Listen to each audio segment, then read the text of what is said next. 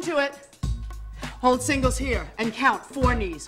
One, push, two, push. Lift them up a little higher. Three, keep your arms steady. I don't care. Four, take it over. Listen. Up, press, lift, press, lift, press. Now take it over. No stopping with the knees. Over again. Up. Last two both ways. Listen to this move. Up. Now singles hold. Let's change into higher cardio. Same control, same resistance, same extension. Count it now, last four.